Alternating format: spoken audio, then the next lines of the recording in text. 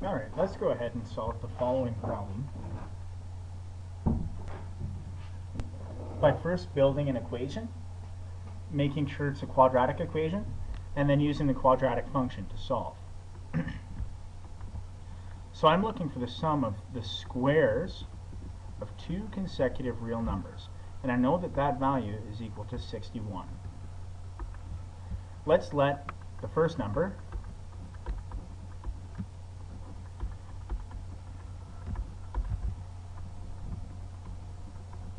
be n.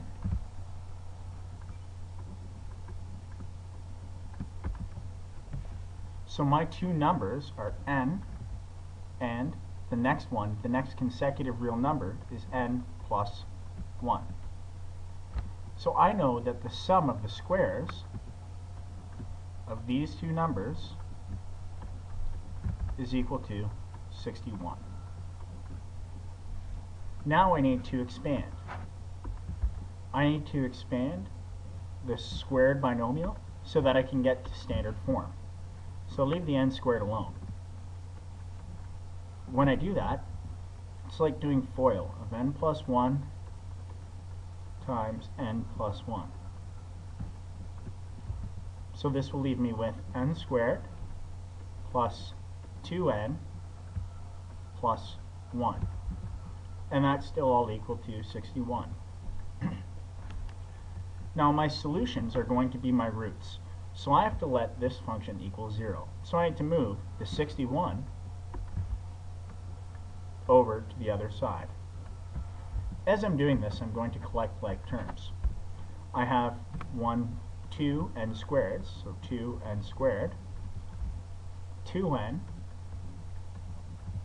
and then 1 minus 61, so minus 60. I'll let that equal to 0. Now I'm just going to go ahead and use the quadratic function to, or formula to solve this. So I know my a value is going to be 2. My b value is going to be 2. And my c value is going to be minus 60. So I'll go ahead and find my determinant first. So my determinant is equal to b squared minus 4ac, which is equal to 2 squared minus 4 times 2 times negative 60, which would be 4 plus 480, or 484. Next, I'm going to use my quadratic formula. By the way, I know that this gives me two real roots. Which is good, because I'm looking for two solutions that are going to be real numbers. So, n is equal to negative b plus or minus 4, the square root of 4ac all over 2a. I'll just substitute some numbers. So negative b is negative 2, right? b was 2. Plus or minus the square root of the determinant, which is 484. All over 2a, which is 2 times 2. When I simplify this, I have minus 2 plus or minus 4 on the denominator, and then I get out my calculator. Let's take 484, and we'll find the square root.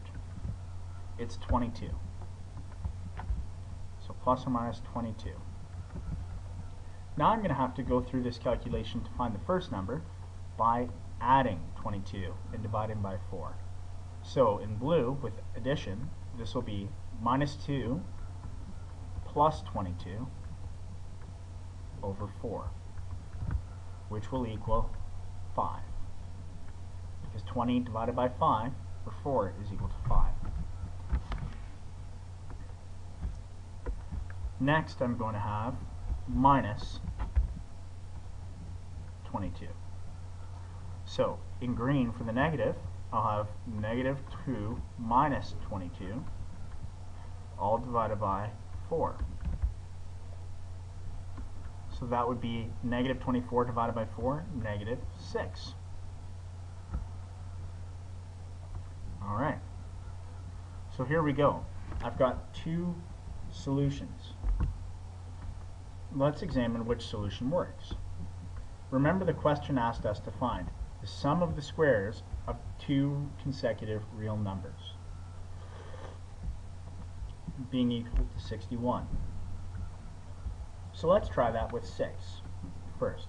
So with 6, or negative 6 rather. So we've got negative 6 squared plus negative 6 plus 1 squared. Well, that will equal negative 6 squared is 36. And then here we've got negative 5 squared. Negative 5 squared is plus 25.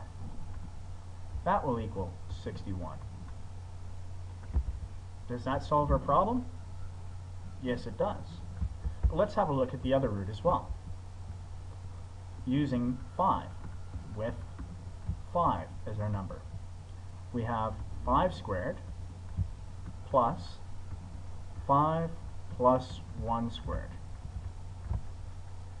This again will give me 25 plus the square of 6 is 36 equal to 61. So from here, I've got two different ways of saying this. I can say the numbers are